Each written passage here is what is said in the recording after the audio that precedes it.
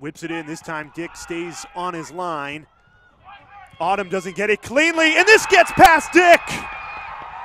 The senior captain, Cory Brown, fires the Musketeers in front. Musketeers goal by Cory Brown.